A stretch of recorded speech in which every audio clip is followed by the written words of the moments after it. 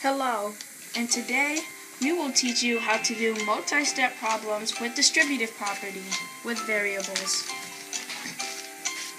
Let's go over our vocabulary. Distributive property is an algebra property that multiplies terms in parentheses.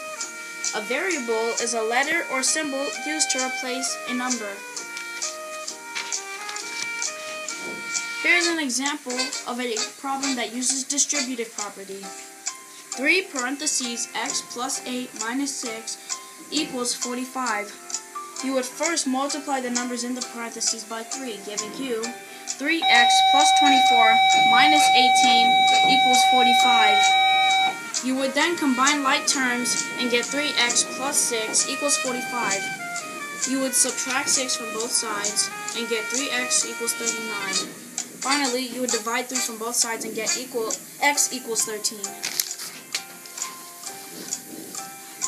3 parentheses 13 plus 8 minus 6 equals 45. You would first solve the parentheses and get 3 times 15 equals 45. You would then multiply the numbers.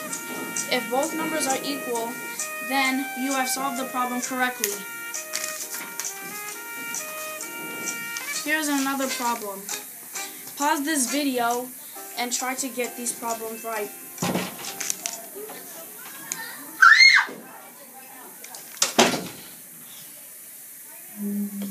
Done? Good. 6 parentheses a plus 7 times 2 equals 54. Multiply numbers in parentheses 7 and 2. That would give you 6a plus 84 equals 54. Subtract 84 from both sides and you will get 6a equals negative 30. You would then divide by 6 and get a equals negative 5. I hope this presentation was helpful. This video was made by Kevin, Charles, Amazing Charles, and Ibrahim. Thanks for watching. How